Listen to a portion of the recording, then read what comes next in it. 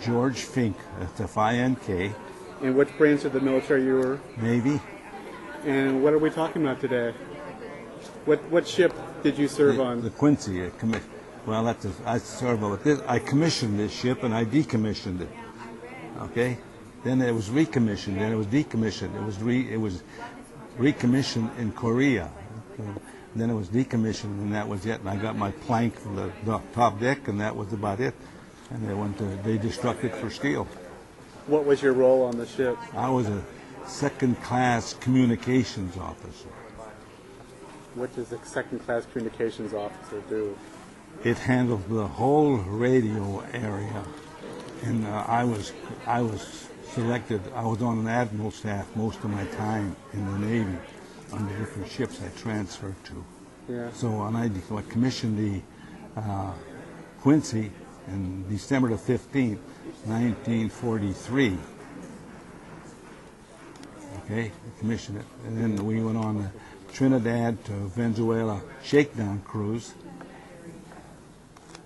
in that type of year. So what do we? So this is the first anniversary of the old Quincy, right? No, I never saw the old Quincy. Oh, okay. Uh, I, I, I, I, after I found out, I got out of high school, I found out the Quincy was sunk by torpedo. You know, and- Oh, but they lost, I think, 971 people. On this, this, this ship here, the Quincy, carried 1,700 people, Yeah. quite a bit. Yeah, quite a. Tell me about. Tell me about this. Yes. Now this is something different. I was aboard the USS South Dakota, and I just came back from North Africa invasion, November 8, 1942. I was only in the, in the Navy three weeks. I didn't get my, I went to Quonset Point, Rhode Island. Three weeks later, about midnight, they told me pack my bag. I said, "Where am I going?" We're going on a train. They took me to New York City. They took me to that Pennsylvania. They took a big truck waiting off the train, taking us to, to Pier 92, which where the sh- ship was anchored, and that was the USS Arkansas, mm-hmm. BB-33. And I got in the morning. That morning, I was just getting underway. In the morning, then found out that I just barely saw the Statue of Liberty because we were out at sea that morning. So November 9th, we invaded Africa. Yeah. Yeah. So that was, I was there for a while. Then he come back of the flagship, and back to Norfolk. I got transferred, and I had to drive. I had to drive all the way to Boston to pick up the admiral's car, and came back for the from because that's where I was going to a new ship. So I got transferred to to the uh, naval barracks in Boston for about two months, and I was waiting. And then uh, when the ship was commissioned, I got transferred to the ship. They were all new people aboard ship. I was probably mostly most experienced because it was all this new ship, and they were getting all new people aboard ship. So after I got aboard the, the Quincy, we had the shakedown in Trinidad, and then we came back in Trinidad from Trinidad. We were back into Boston, and they re-overhauled all the bugs and got all the bugs out of the new ship.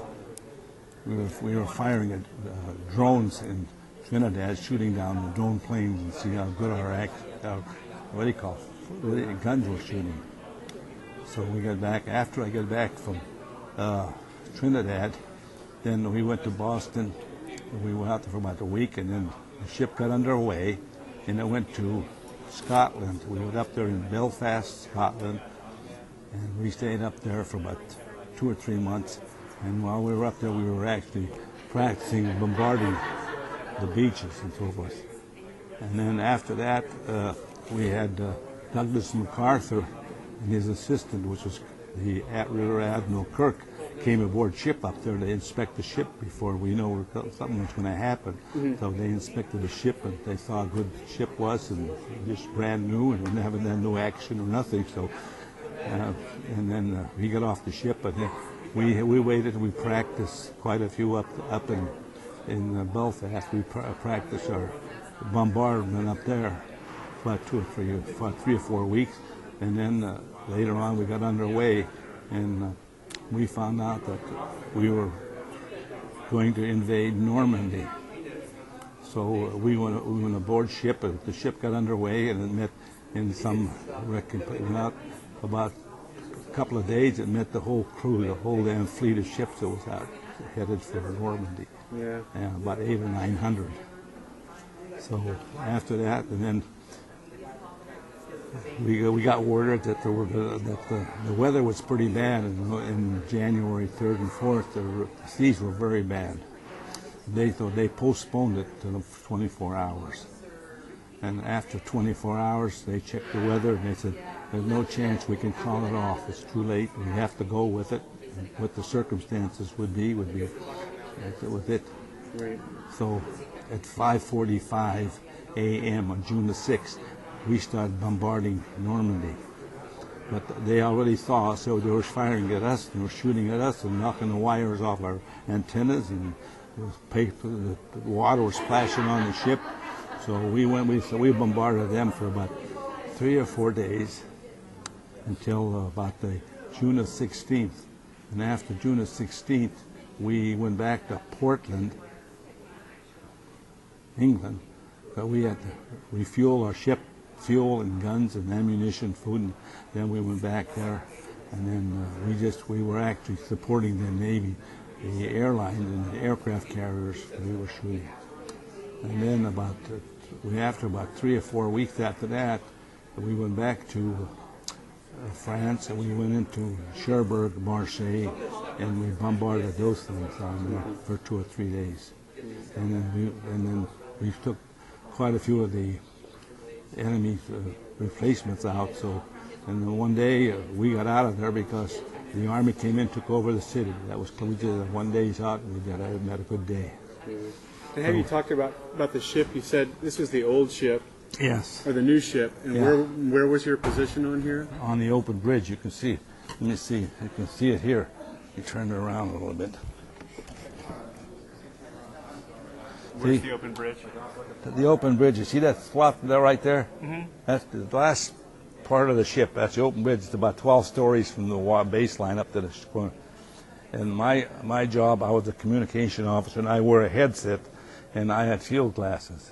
And during the whole course of my career, my watch was on the open bridge, and I had field glasses, and I spotted any looking for anything we saw, planes or anything that's unusual. uh. And the best part of it, right below the bridge on the other here, the captain and the uh, lieutenant commander were peeping out of two peepholes while I was above them, and I had a headset. And I got I you know, passed the information to the captain and the, and the commanders. So, Well, I appreciate you bringing this down. Um, if you've got some time, the gentleman next door is Warren Motts, who Yeah. runs the Motts. the right, Which one are you, Joy? the right house, the right. So this is you, Yeah, yeah. yeah. taken July 26, 1944, Yeah. and my partner is a radio man. he's much taller than you. Yeah, I think so. Yeah, I was pretty small. Yeah, yeah. That's great. But I, I served all my time as on the bridge, and of course I was on the, uh, I was on my first ship, and I was just got out of the, the road camp. I was at the USS Arkansas. Then I got transferred to the Arkansas, and I had to go to the South Dakota. But the South Dakota was up in Newfoundland.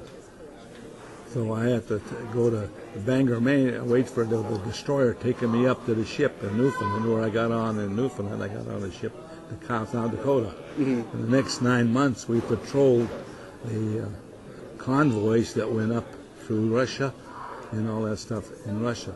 Yeah. So and that's how we got back. Yeah, that's another picture. Yeah. I was younger. I was just 9, 20 years old. and I'm 85 now. That's a big difference. That's great.